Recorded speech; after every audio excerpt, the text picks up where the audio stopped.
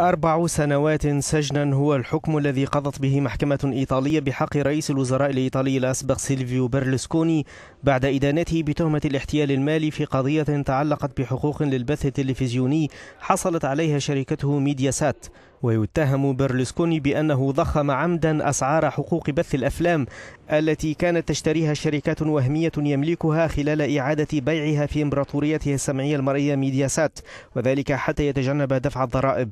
ومنع القضاء برلسكوني أيضا من تقلد أي منصب في القطاع العام لمدة ثلاث سنوات. ويحاكم برلسكوني إلى جانب عشرة أشخاص آخرين في قضية مر عليها ست سنوات. وبإمكان برلسكوني البالغ من العمر 76 عاما أن يتقدم باستئناف الحكم الصادر ضده مرتين ولكن ذلك قد يستغرق سنوات طويلة. وبالنظر إلى تقدم سنه لا يبدو برلسكوني أن قدماه ستطأ السجن أو أنه سيبقى تحت الإقامة الجبرية.